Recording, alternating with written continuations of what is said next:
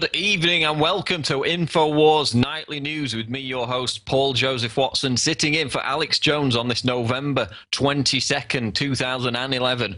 Coming up, the latest TSA rape case Ron Paul gets occupied, and the latest on the situation in Egypt, and much more. But to start the broadcast, we've got an exclusive interview with Gary Franchi about some exciting Ron Paul poll results out of Iowa, which show the Texas congressman is not only ahead of Barack Obama, but is also beating his Republican challengers. And those results will not be published until tomorrow, but we've got the exclusive on what the figures are showing right now with Gary Franchi speaking here with Aaron Dykes. Thank you, Paul. And now for a detailed look at what that poll shows and what it means, we turn now to Gary Franchi, chairman of RevolutionPAC.com. Uh, we know the mainstream media has used tactics all throughout their black book to keep Ron Paul's name out of the headlines, and yet here he is in this poll, uh, a significant contender in Iowa, if not the outright leader. Gary Franchi, please tell us more about what this poll means.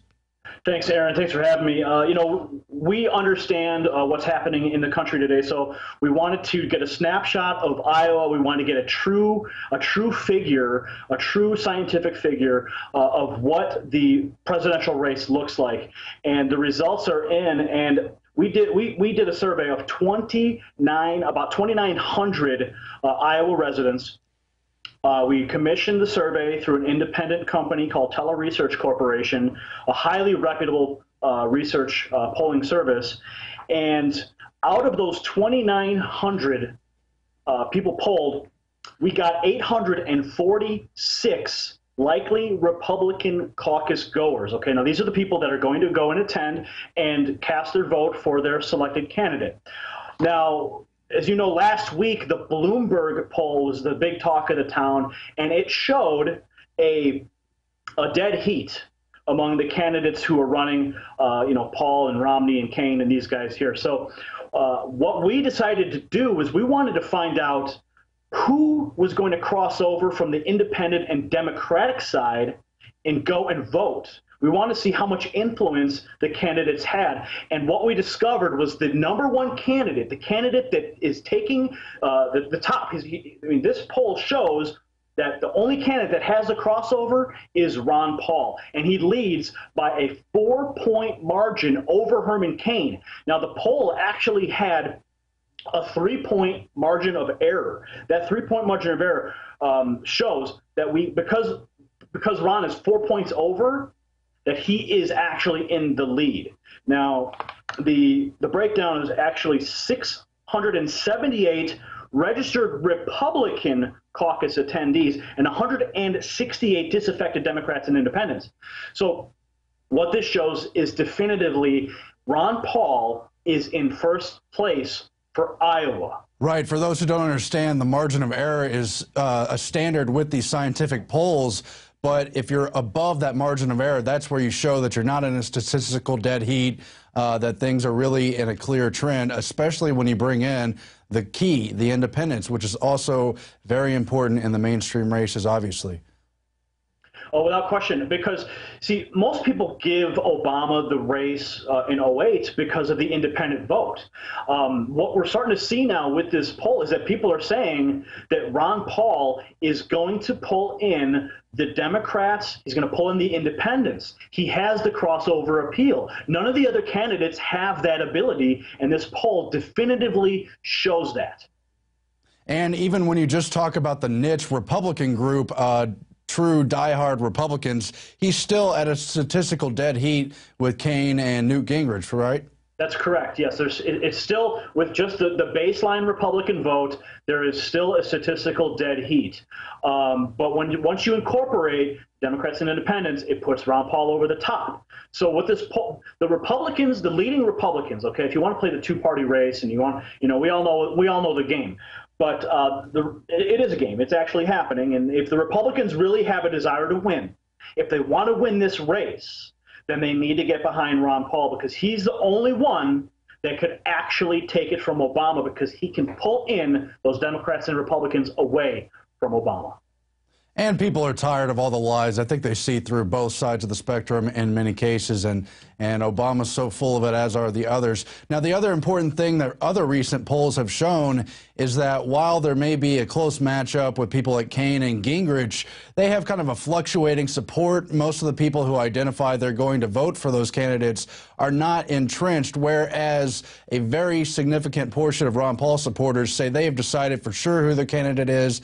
They're dedicated to him. They're showing up no matter what to vote for Ron Paul. The other ones, they're going to see which way the wind blows, perhaps. Well, the message of liberty is infectious, and it spreads. It does. It spreads like a virus. Once you get once you get bit by the bug of freedom, and you understand Ron Paul's message, it's really hard to turn away from it because your eyes are open to the reality of what's happening. So you almost feel guilty to turn away from it. It's like it's like sort of like eh, eh, pretending that the that um, you know you didn't watch a car crash or something like that. So people once they get turned on to Ron Paul, they stay turned on to Ron Paul, and then they continue to spread the message. The other candidates don't have that same infectious groove that Ron Paul does.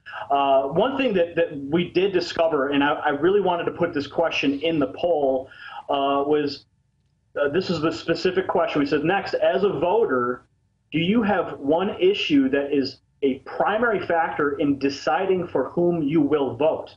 And um, economy, jobs, government debt, and bailouts came in at 45 percent. That is the leading issue in the country today: economy, jobs, government debt, and bailouts.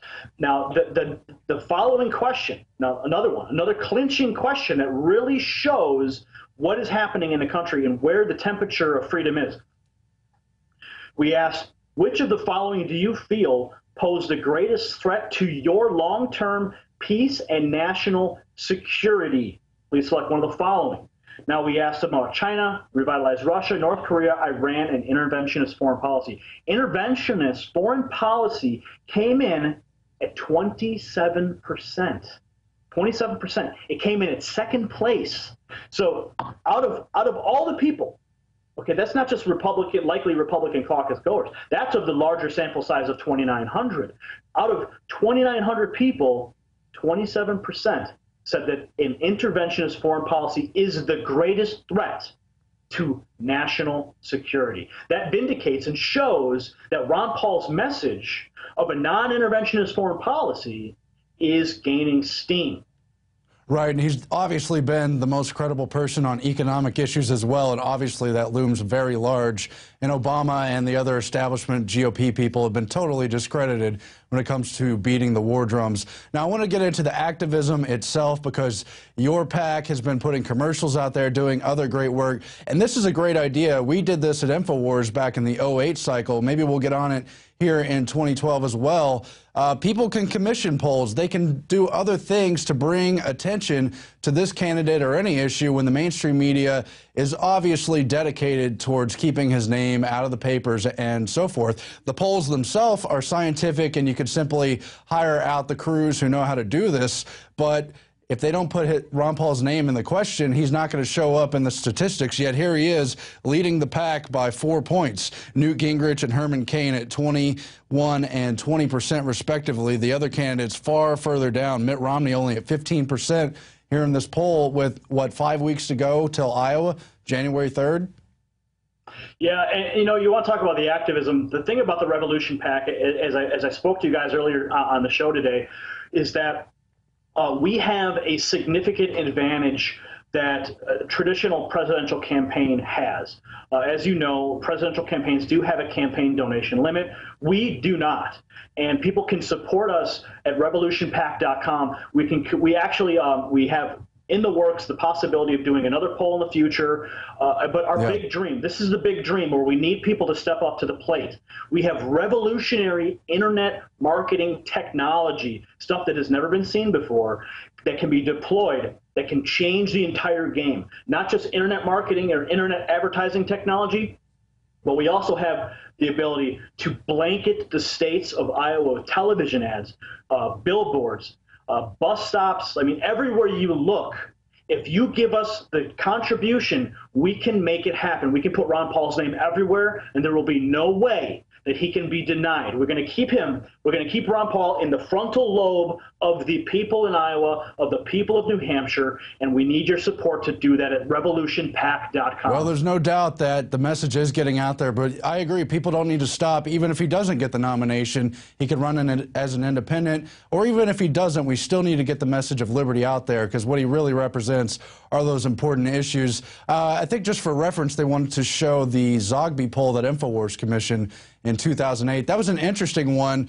It was at a time when Ron Paul really didn't have the kind of recognition name-wise that he now has. Now almost everyone knows who Ron Paul is. At the time, we did a blind bio, as they call it, with you see, candidate A is a 10 term congressman a, a, large southern state, goes on to describe them. And Ron Paul did very well in that when it wasn't a name game. Uh, at the same time, we had to rewrite questions like Mitt Romney's blind bio because they were openly. Uh, putting heroics in there and loaded words and uh, buzz terms that cause people to trend towards the, the, manufactured candidates. It's just an interesting study on polling in general. Uh, your final yeah. comments, Franchi. Aaron, what I, what I wanted to point out, I'm glad you, you discussed the buzzwords in polls. What we did in this poll is we made it totally dry, totally generic, no buzzwords. Uh, it's just like, you know, who's your favorable, who's your unfavorable, who's your first choice, who's your second choice, and we left it at that. It's straight mm-hmm. statistics, it's straight science, and it's and it shows that Ron Paul is the leading candidate in Iowa, and he has the he has the possibility to take the whole state. And we need your support at Revolution PAC to keep the momentum, to keep the pressure on revolutionpac.com. Please support us. Thanks, Gary. And of course, Iowa has always historically been the place to watch for primary elections. Uh, at the same time, they've moved up so many of the other primaries, making them earlier and earlier. It'll be interesting to watch if that affects the influence of an outside candidate like Ron Paul. Uh, traditionally, it would reinforce the support for a big-time candidate, a Romney or or Cain, who has the mainstream backing. Uh, so we'll see what happens when they move up these primaries. But that's something to look at in another segment at another time. For now, uh, this is Aaron Dykes reporting for InfoWars Nightly News. Back to you, Paul Watson.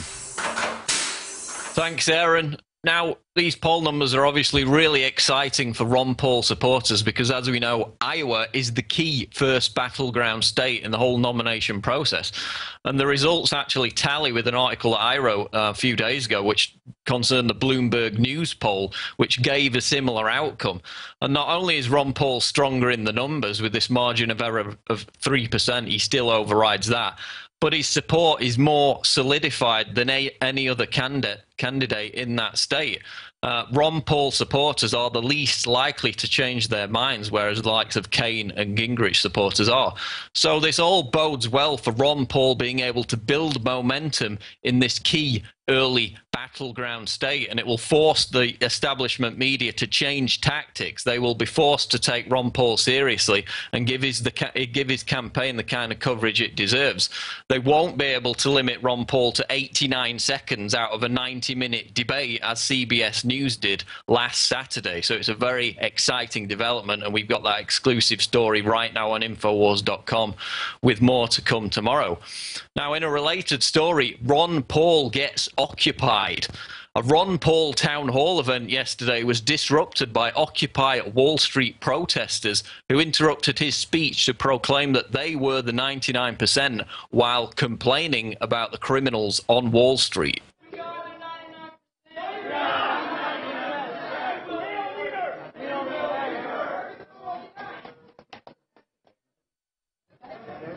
Do you feel better?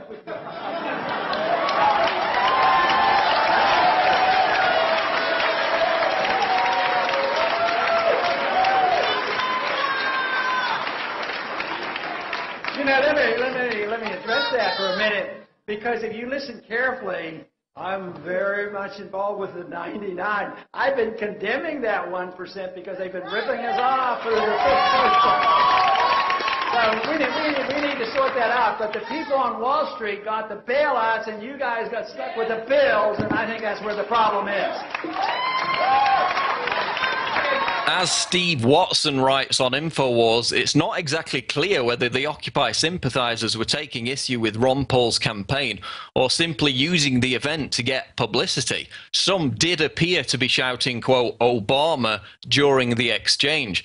So why are people protesting Wall Street by disrupting the event of a presidential candidate who takes virtually no money from Wall Street while half of them, according to the polls, plan to actually vote for Barack Obama, the ultimate Wall Street puppet. I mean, who is steering these people? We reported yesterday how the Occupy Wall Street official website had banned all material from Alex Jones and InfoWars, glibly claiming that they agree with free speech unless it represents, quote, fascism. So apparently we're all fascists now. I didn't get the memo on that one. But now it appears that Occupy Wall Street protesters are targeting Ron Paul. They're not disrupting Newt Gingrich, who told OWS protesters to go take a bath and get a job. They're not interrupting Mr. Wall Street Mitt Romney. They're disrupting Ron Paul, the biggest critic of Wall Street, currently running a presidential campaign. So, what's wrong with this picture? It's another blatant attempt by the likes of MoveOn.org and other establishment leftist Obama campaign fronts to co opt the Occupy movement and to ensure that the Ron Paul revolution has no influence on its actions so as to run the whole thing into the ground. I mean, the Occupy Wall Street protesters need to get wise as to who is steering them and what agenda they are serving because uh, pissing off Ron Paul supporters, this sizable and hugely energetic grassroots movement that's you know shaken the core of the establishment for longer than most of these OWS protesters have been out of high school is an in- incredibly stupid and naive thing to do. So OWS protesters really need to get wise and need to wake up to whose agenda they are serving. More on the infamous viral video pepper spraying incident at the University of California, which occurred, of course, on Friday and has since garnered worldwide attention. It now turns out that the cop involved in pepper spraying the students there for the crime of blocking a path was, in fact, honored. The Associated Press is reporting pepper spraying California officer previously honored the riot clad police officer who pepper sprayed a row of peaceful Occupy Wall Street protesters at a California university last week is a retired U.S. Marine sergeant who has been honored for his police work on campus, but also has figured in a previous discrimination suit against the university. So we've got increasing fallout from this story. We've got uh, basically a Tiananmen Square style response with the artwork. There's there's um, pictures and drawings of this guy superimposed onto, for example, spraying Jesus at the Last Supper. It's gone absolutely super viral. The outrage has gone through the roof. Uh, we had this University of California Chancellor, Chancellor Linda Katehi who tried to calm the nerves of the students of the protesters there by addressing them um, earlier today. We've also got a comment now on this from Michael Moore, who has come out on MSNBC and blamed Homeland Security um, for the brutality that we saw in the video. During a, an appearance on MSNBC, Moore correctly identified the cancer that is militarizing and corrupting law enforcement bodies, namely through Homeland Security funding. Now, it was just a few days ago that police in Tampa rolled out a 12 ton armored vehicle to deal with a handful of OWS protesters. And of course, we also have uh, police departments using Homeland Security grants to purchase unmanned drone helicopters that can taser suspects. So everything that we saw being used against the alleged terrorists in Iraq and Afghanistan is now being targeted against the American people, thanks to Homeland Security. Uh, and if the cop in that now infamous video out of Portland casually pepper spraying non-violent students is anything to go go by. How long is it before we see a Tiananmen Square style incident in the United States, which is precisely what Michael Moore has warned about in this appearance on MSNBC? This was just 11 students in a not very well-known UC campus.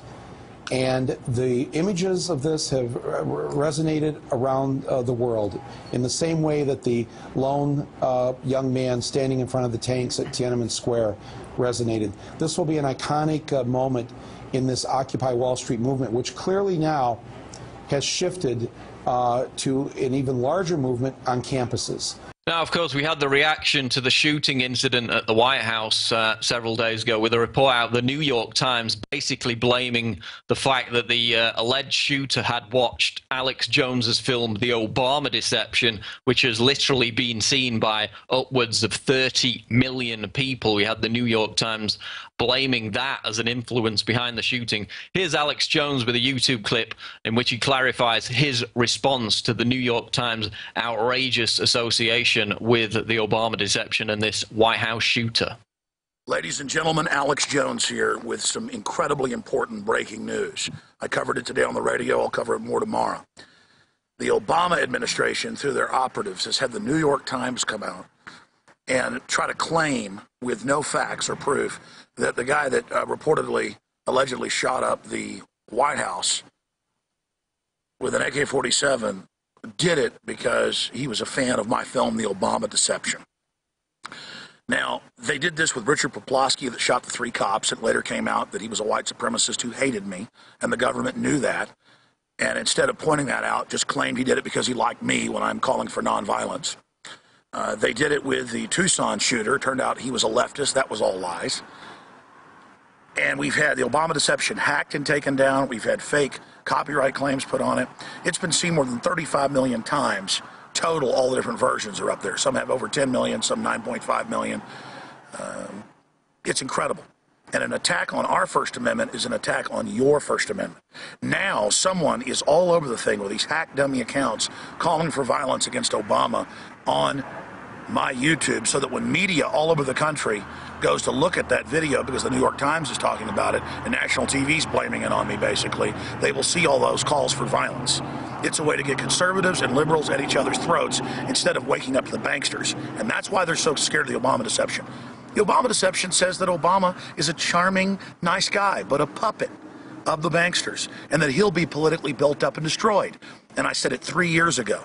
I talked about Europe being imploded by a banking crisis that would lead to a Bank of the World and a Goldman Sachs banking dictatorship. Now that's in Time Magazine, Newsweek, Financial Times of London. You know, the banker coup in Europe.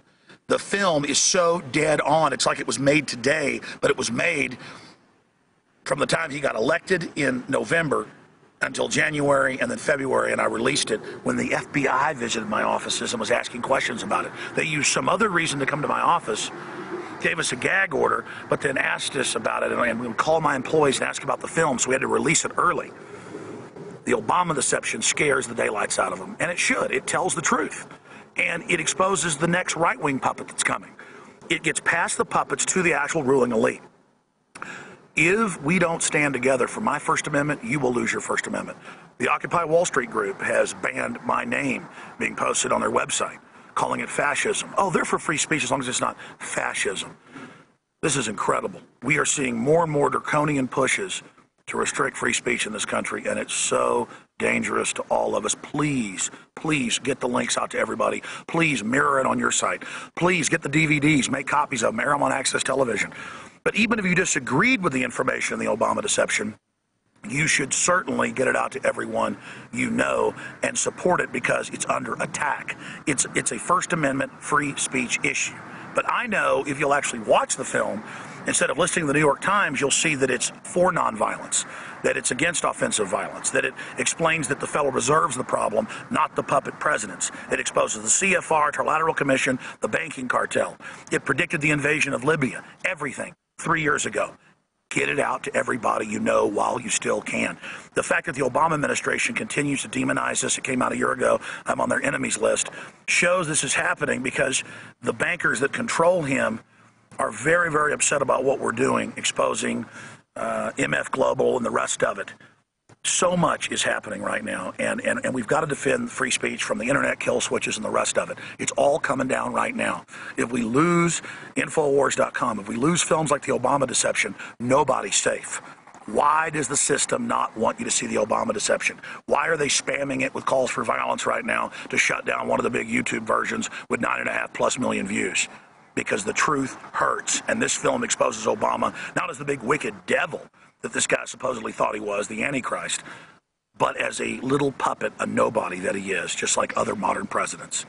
Please get this information out to everybody. Stand for the First Amendment today. Don't let them kill free speech by killing the Obama deception. We don't want anything to happen to Barack Obama. He is nothing but a puppet. We want the criminal interest behind him to be brought to justice. They use him like a shield that takes all the heat. After four years, they throw him down and pick up a new Republican shield. When they're done with that, they pick up another one. That's what's really happening here. I'm Alex Jones from the front lines of the InfoWars. Infowars.com. We'll take a break now on InfoWars Nightly News, but coming up, we've got more about the TSA rape case. We've got our Man on the Street special feature. We're going to hear about the latest situation in Egypt. We've got a new scandal with ClimateGate 2.0.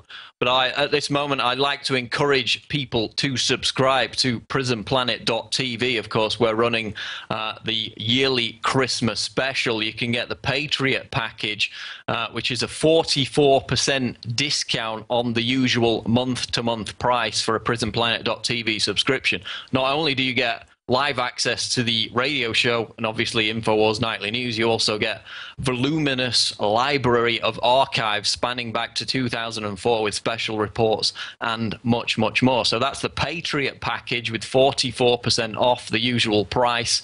And we've also got the Info Warrior package, which is a whopping 70% off the usual price.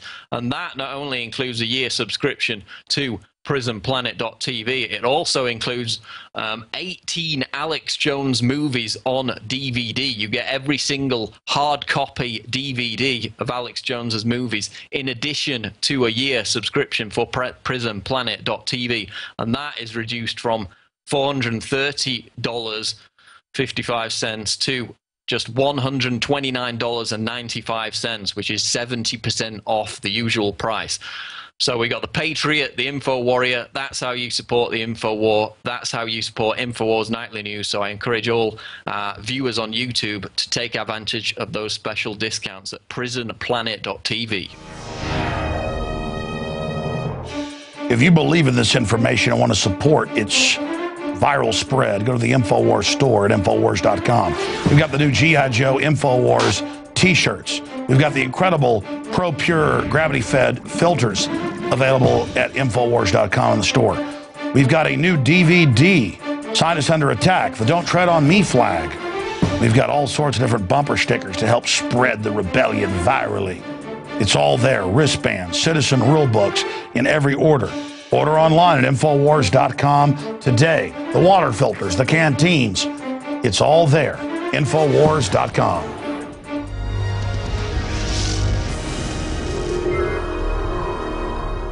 Welcome back to InfoWars Nightly News with me, your host, Paul Joseph Watson. Let's continue with the top stories today. TSA worker in uniform flashes badge, brutally rapes woman. Yet another example of a TSA agent engaging in rampant criminality and believing themselves to be above the law emerged yesterday when 52 year old TSA worker Harold Glenn Rodman allegedly approached a woman in full uniform before flashing his badge and proceeding to brutally rape and sodomize her. Police say that a man wearing a TSA uniform flashed a badge to a woman in Manassas and then sexually assaulted her. They say that man is 52-year-old TSA employee Harold Rodman. Gail Pennybacher is live from the Manassas neighborhood now with more. Gail. And if that news isn't shocking enough, Leon, what people are realizing here in this community is that the man happens to be one of their own neighbors. He lives steps away from where the alleged attack occurred. Now, this epidemic of abuse and criminality on behalf of TSA agents is something we cover here at InfoWars routinely. There's a new TSA horror story every week, sometimes multiple times weekly.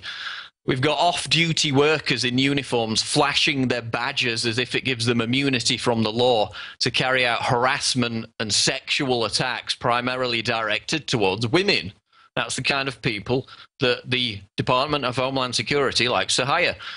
So, why are we seeing this criminal epidemic?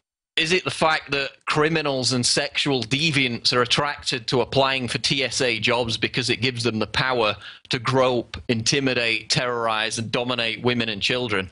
Or is it the federal agency itself training these goons that they have carte blanche to do whatever they want? Personally, I think it's a mixture of the, of the two, but we're going to see a lot more of these stories uh, with the TSA now being deployed in bus ter- in bus terminals, train stations, and of course on the highways. And remember all that paranoia about Obama's National Civilian Security Force? Well, this is it. I mean, as, as Jesse Ventura's case against the TSA has proved, the feds have created an agency that is above the law. When Texas tried to kick them out of the state, the, the feds threatened economic terrorism. They threatened to, uh, to impose a no fly zone over Texas. So, is it really any surprise that the employees of an agency that has been placed above the law now thinks that they can just flash a badge and rape women without any consequences? I mean, as Mike Adams discussed on the show last night, this is another example of trickle down tyranny. These TSA thugs are merely aping the behavior that government has defined as being acceptable torture and oppression. And the pepper spraying cop video, which we showed earlier, again illustrates that America's entire law enforcement and legal system is based on intimidating or torturing people into following orders. It's the pain compliance police state. And until lawmakers step up to the plate and put some teeth into efforts to abolish the TSA, we're only going to see more of it. Okay, now we go to Darren McBreen with our regular Man on the Street feature. And today, Darren's been at Austin Bergstrom Airport talking to people about how they feel with the announcement that the new cancer causing radiation body scanners will be installed at Austin Bergstrom Airport. Over to you, Darren. As we've documented here on InfoWars, there are scores of experts and scientists who are on record warning people that there is a significant radiation risk from airport body scanners. Yet the federal government has installed and activated these x ray machines in just about every airport across the country, including here at Austin International. Okay, so there's increased security at airports. They're rolling out the, the naked body scanners, the TSA grope downs, things like that. Is all this necessary for security? Do you feel it makes you feel safer? Do you feel it's no, it does not make me feel safer at all. I think it's, I actually think it's pretty messed up what they're doing. Does it make you feel safer, or do you think it's a, a an infringement on your privacy? I definitely feel safer, in anything they can do to increased security, I think, is a blessing for all of us. You can't be overly safe. I don't know if everyone should be subjected to that. I, I, think it does make me feel a little bit safer knowing that there's at least at least that they're trying. The idea that there's a naked picture out there somewhere of me is a little creepy, but also kind of fun. And what about the pat downs? Some people think that's an infringement of their rights as well. They're being pat down by TSA, and if, if not, they go through the naked body scanners. And is this something that makes you feel safer? Is it something that we need to be doing for our safety? Yeah, I'm afraid, unfortunately, I'm afraid it is. It's not, I don't feel, you know, I don't feel, I'm a nurse though, see, so people with their hands on my body, that doesn't really bother me. I have my hands on people's bodies every day. So, you know, it's not a big deal for me. How do you feel? Do you feel like it's an infringement? I have a mammogram every year again, every year, and they're saying that that is too high of dose, and I disagree. It's not too high. With as much as they make us take off to go through those things, you, are not carrying anything on. Yeah, I don't think yeah. it's necessary for the children to be patted down. I really don't uh, appreciate it, and I think it's a little bit disrespectful to who I am and what I'm doing. So I guess it's a little bit of a privacy infringement. For those of you who plan on avoiding the TSA by staying away from airports, I'm afraid you're in for a rude awakening because the TSA has actually expanded its VIPR program, which is already active in airports, bus terminals, and subway stations, but now it also includes roadside inspections of commercial vehicles on the roads and highways across America. So a lot of people are refusing to fly because they don't want to go through this. But um, there's also privacy advocates who uh, I think are justly concerned that this, these TSA uh, checkpoints are expanding, not only airports, but their bus terminals, their subway stations, and now even roadside checkpoints. So they're stopping cars on freeways and roads across America. Are they going too far? Definitely going too far. I've never heard of that, but yeah, if they are doing that, that's yeah, that's they are going very far. I think they're going a little too far. Yeah, I think that's going a little too far. I, I don't think that's the best use of our time and, and resources. No, I think that's going a little too far. I don't think that might be a waste of resources. I believe right now we're at a time and age where it's necessary. Let's say the terrorists hate us for our freedoms. then they're winning. because now we're no longer free if we're going to be uh, subject to illegal searches and seizures. What would you say to those folks? I think that's taking it a little extreme. It's not that you're not free, we're just being really safe. Now, it's interesting to note that earlier this year, a bill was introduced to the Texas legislature that would actually bar full body scans and full body pat downs at airports. As you can imagine, the bill attracted much support and gained momentum, but was shot down as the State Department threatened to implement a no fly zone across the entire state of Texas should the bill pass. And now the TSA want their agents patting down, searching, scanning, and harassing American citizens at all levels of society, and not just at transportation hubs, but at major sporting events, in the streets, and on the highways across America. I'm Darren McBreen for InfoWars Nightly News. Thanks for that report, Darren. Now moving on with the rest of the news. Egypt renames its secret police Homeland Security. The Financial Times reports that Egypt has renamed its brutal and infamous secret police apparatus as, quote, Homeland Security. That's right, the same security force implicated in the imprisonment and torture of anti Mubarak political activists has sought to give its much feared and loathed security state a makeover by rebranding it with the name of America's foremost post 9 11 federal agency. Quote, after initial moves to purge the security forces, attempts at systematic reform were halted, say analysts and political observers. Under the auspices of the Ministry of Interior, the 100,000 strong state security service has been renamed Homeland Security, and personnel moved around. The Financial Times reports yesterday. So, the primary role of Egypt's secret police is to bug phone calls, spy on and harass presumptive candidates in Egypt's democratic elections, which of course are being halted by the ruling military junta still in charge of the country. And this secret police apparatus has been responsible in the past few days alone for the murder of dozens and the torture of thousands of Egyptian protesters over the course of the last seven days. And uh, as we know, just like its now Egyptian namesake, the US Department of Homeland Security has increasingly begun to take on its own secret police role within the United States, spying on protest groups and arresting political activists. The DHS's Federal Protective Service was captured on film last week, arresting photograph, phot- photographers at an Occupy Wall Street event held in Portland. And this unit has also been used by Homeland Security to spy on anti tax groups and arrest veterans for the crime of complaining to their local VA office. So it fits perfectly to have Egypt's secret police aspire to mimic their American counterparts and indeed, the Egyptian authorities have pointed to the quote, firm stance taken by US law enforcement in their treatment of Occupy Wall Street protesters to justify their brutal crackdown on pro democracy demonstrators in Cairo. So, again, as we've highlighted, it's no surprise that the likes of Barack Obama and Hillary Clinton, these humanitarian crusaders, have barely uttered a whimper of dissent against the brutal crackdown in Egypt because, of course, we know in 2010 alone, $1.3 billion in aid from the US was sent directly to the ruling military junta. So the arrests continue, the torture continues, and of course, the execution of political activists continues in Egypt. And now their secret police has sought to give that some sense of legitimacy by renaming themselves Homeland Security. Should we be concerned?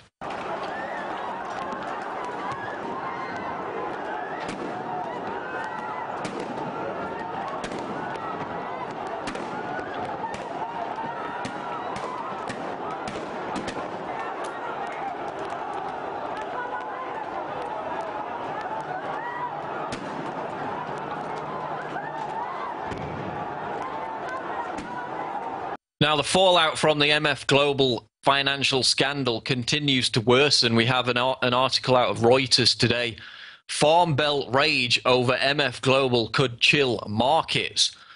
Quote, when the CME group pledged 300 million of its own money to help former MF Global customers get their cash back faster, the exchange was likely thinking of customers like Kansas cattle rancher Tim Reitzker fed up and frustrated with his broker's collapse and what he sees as the CME's slow efforts to help him retrieve $30,000 in stranded capital, Reitzker says faith in the futures industry has been shaken to the core.